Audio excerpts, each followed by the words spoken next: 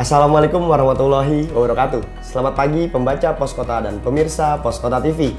Apa kabarnya hari ini? Semoga semua dalam keadaan sehat. Kembali bersama saya Guru Nara Persada dalam Headline News Harian Pos Kota edisi Rabu 14 April 2021.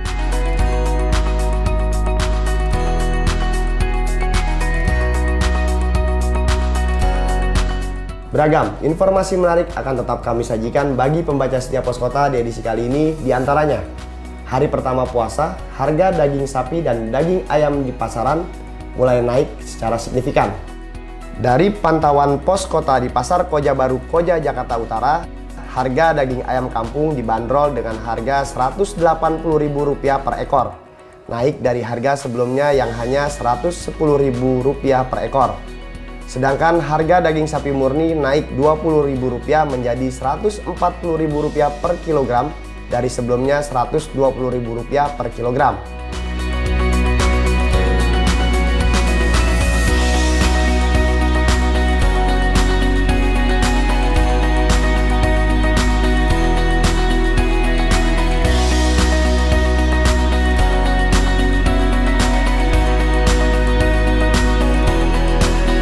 Berita selanjutnya, berita kriminal. Niat menagih hutang, seorang pria dan temannya di Tangerang dikeroyok. Satu di antaranya tewas. Peristiwa berawal saat kedua korban menagih hutang senilai 20 juta kepada salah satu perusahaan di Cipondo, Kota Tangerang. Keduanya kemudian terlibat cekcok mulut dengan seseorang dari perusahaan tersebut. Usai terlibat cekcok, empat pelaku lain langsung ikut melakukan pengeroyokan hingga berlanjut ke ruang mesin dan kamar mandi. Akibat kekerasan ini, satu orang luka-luka dan satu orang rekannya tewas.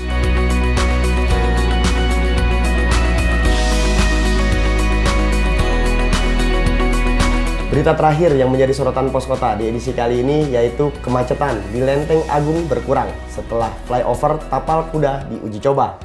Kepala Dinas Bina Marga DKI Jakarta Hari Nugroho menyatakan pihaknya terus mengamati dan mengevaluasi pergerakan mobil, keamanan dan kenyamanan pengendara yang melintas di flyover Lenteng Agung dan Tanjung Barat untuk kemudian dievaluasi. Dari berbagai catatan didapat bahwa kemacetan di Lenteng Agung telah berkurang.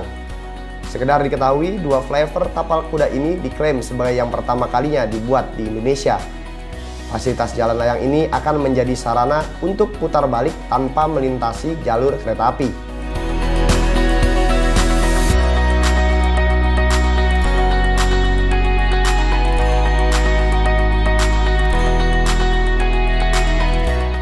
Demikianlah beragam informasi menarik yang kami sajikan di Pos Kota edisi kali ini. Tentu saja masih banyak informasi lainnya yang sayang untuk Anda lewatkan. Dan bagi pembaca yang ingin memperoleh berita lainnya, silakan Anda mengunjungi website kami di www.poskota.co.id. Demikian perjumpaan kita, saya Guru Nara Persada mewakili redaksi yang bertugas mengucapkan terima kasih. Selamat pagi, selamat beraktivitas. Ingat, tetap jaga kesehatan. Assalamualaikum warahmatullahi wabarakatuh.